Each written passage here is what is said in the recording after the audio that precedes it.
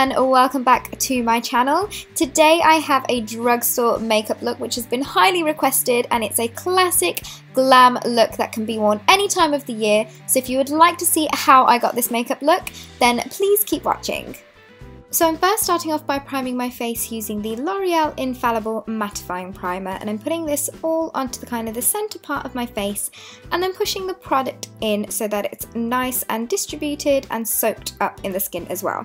For my base I use the Maybelline Fit Me Foundation in the shade 220 and the L'Oreal Lumi Magic Primer and I've dotted that on my face and then blending that all out with my Beauty Blender and this gives a really even and flawless finish. Now for my brows I have used the Soap & Glory Archery Brow double-ended pencil and I'm first brushing my brow hairs in the direction that I kind of want them to be and then I'm just going in and lightly filling them all in and this gives a really natural light effect on the brows in comparison to using like a brow pomade or brow gel or anything like that.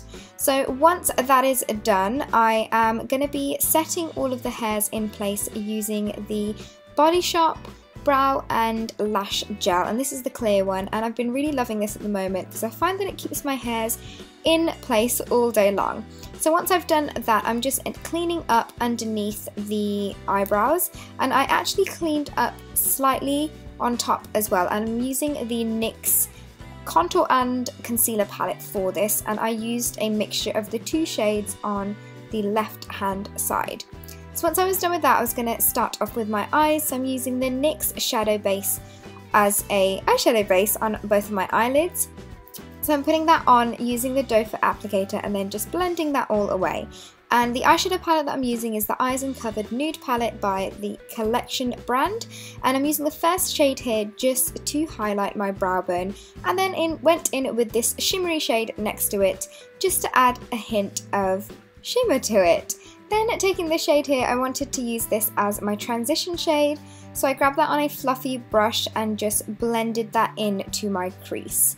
Now, the only thing is that this palette doesn't have any names, so I'm taking this sh third shade here, and I'm actually applying this on the first two-thirds of my eyelid, just to brighten that up, and then going in with slightly darker brown shade, and applying that to the outer third of my eye, just to give the eye a bit of a dimension and a 3D effect, so it's not looking really, really flat.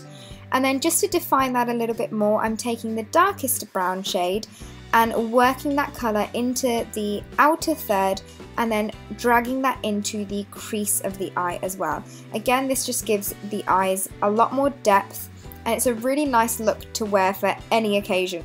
Next, I moved on to my lashes and uh, I'm using my favourite lash combo. So I'm using the Maybelline Lash Sensational Mascara first to coat both of my lashes and as you can see here it does amazing things to them. And then once I had done that on both of my eyes I went in with the Miss Manga Punky mascara just to add some more volume and oomph to them. And then went back in with the Lash Sensational mascara just to make sure that everything is nice and spread out. And yeah basically my eyelashes look amazing every time I use this.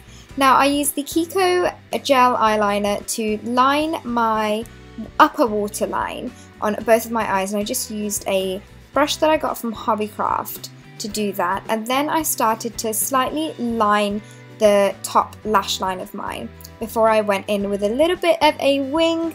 I'm loving winged eyeliner at the moment and I just kind of made a slightly medium kind of thickness wing because um, I felt that this looked really good with this eye look. So once I was happy with the look and shape of both of them, I went on to my concealer.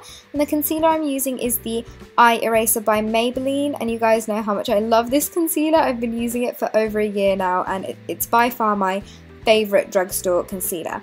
So I'm applying that on a triangle shape underneath both my eyes, highlighting the centre of my face and underneath where my contour would be.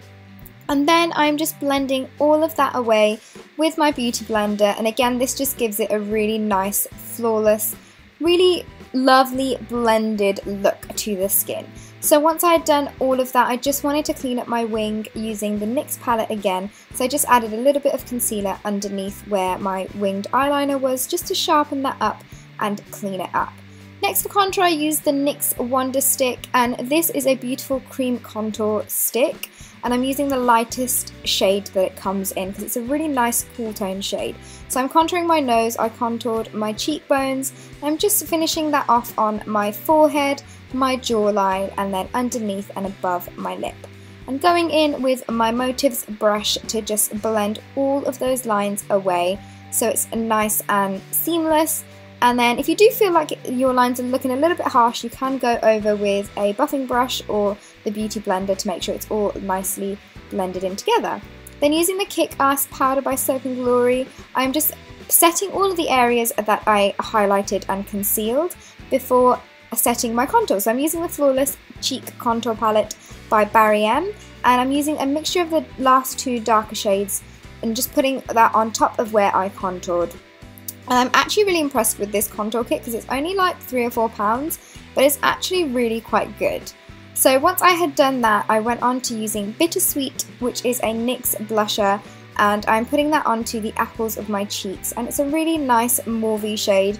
You guys know how much I love my mauves. Um, so this is the blusher I applied. And for highlighter, I used the Undress Your Skin MUA highlighter, which is a beautiful gold shade. And it's pretty much a dupe to NARS's Albatross. So I'm putting that onto the tops of my cheekbones and down the centre of my face and not forgetting my cupid's bow and chin as well. To make sure everything's set in place, I'm using the Rimmel Stay Matte Powder and just kind of buffing that in slightly into my skin so that I know my makeup's going to last all night long.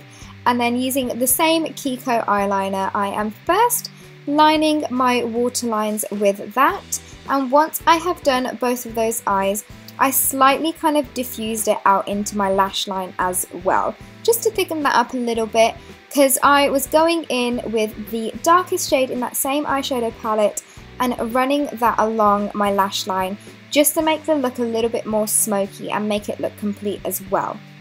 So once I had done with that, it was time to finish off my lashes. So I added the Maybelline Lash Sensational Mascara onto my lower lashes as well and you guys know how much I love lower lash mascara as well.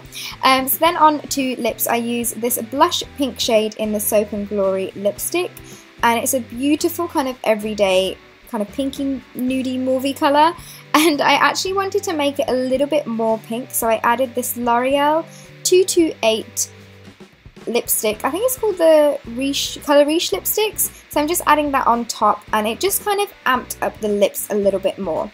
And to add a bit of gloss on top, I used Madeleine, which is this NYX Butter Gloss on top, because I wanted a really, really glossy kind of wet looking lip with this look but I feel like you can wear pretty much any lipstick with this kind of makeup look. So this is the final makeup look. I really hope you guys enjoyed this. I did actually add some Ardell Demi Wispies onto my lashes but other than that this is the look and I really hope you guys enjoyed this. If you would like to see any more drugstore inspired makeup looks then please let me know in the comment section below. Don't forget to subscribe and I will see you all in my next tutorial. Bye